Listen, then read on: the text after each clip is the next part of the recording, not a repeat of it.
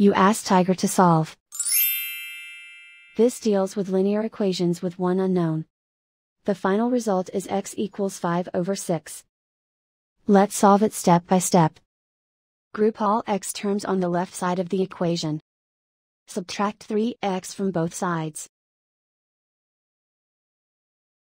Group like terms. Simplify the arithmetic. Group like terms.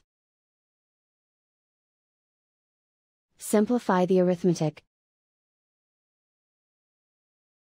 Group all constants on the right side of the equation. Subtract 4 from both sides. Simplify the arithmetic.